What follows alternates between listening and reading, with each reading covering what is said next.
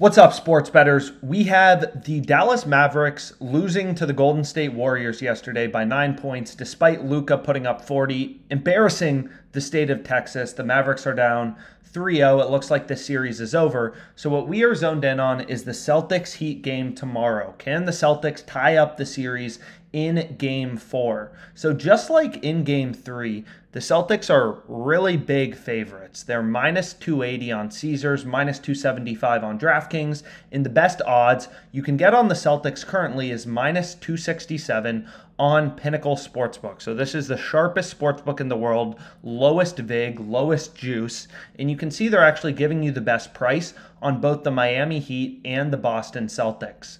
So the Celtics are pretty big favorites. So betting markets are expecting that it should be 2 2 in the series heading back to Miami. But what we are focused on is the best player prop bets for today.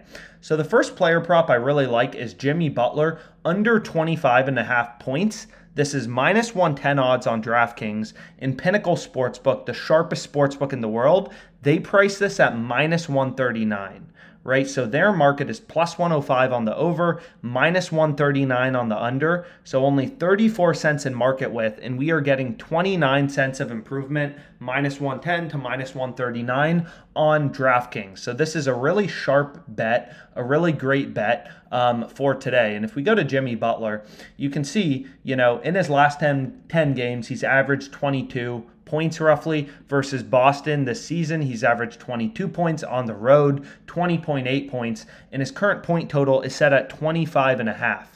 So it seems like the under is a good decision here. The sports betting math supports it, right? Pinnacle is all the way down at minus 139. So we're getting a ton of improvement on DraftKings. And I'm going to go ahead and lock in this bet for today. So we'll go to player props and then we'll go to player points. We have Jimmy Butler under 25 and a half points.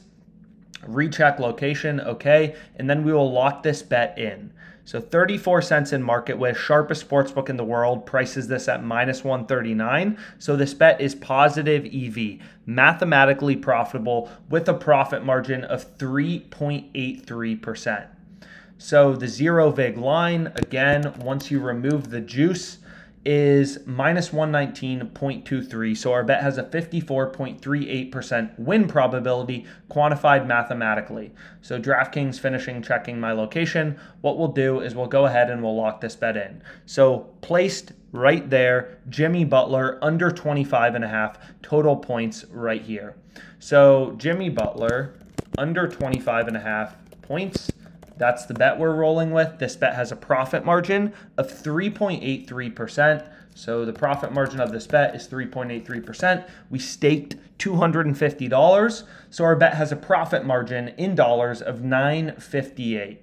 So our bet is worth a Chipotle burrito. Um, 383 right that is our percentage profit margin 250 stake means 958 in total profit on this bet. So pretty happy with it. I'm going to add it to my bet tracker. So the OddsJam bet tracker is pretty cool because not only will it um, you know, show you your net profit and loss as a sports bettor, but it will also show you where you beat the closing line.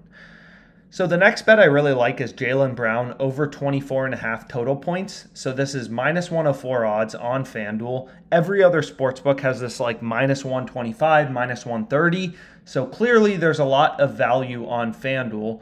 So I actually already bet this earlier at minus 108 odds. Now it's back down to minus 104, but FanDuel doesn't let me rebet this because I already bet it. So what you can do is you can go to the alternates to score 25 plus, and we could rebet it again from here for 212.10. So I'll bet this, and then I'll add it to my bet tracker once again um, but I just have to change the price to minus 106 because it's a little weird on FanDuel. But to score 25 points is exactly the same as over 24 and a half points, but for some reason the odds are slightly different, which doesn't make a ton of sense. But, anyways, we bet both of them. So, my two bets on FanDuel for tomorrow are Jaylen Brown 25 plus and over 24 and a half points, which are the exact same bet. And then we have Jimmy Butler under 25 and a half points. So Jaylen over 24 and a half, Jimmy Butler under 25 and a half. two sharp bets. I added both to my OddsJam bet tracker, which you can see right here. And again, I like adding bets to my bet tracker. The OddsJam bet tracker is 100% free because it shows me my profit and loss as a sports bettor, my ROI, as well as how often I'm beating the closing line.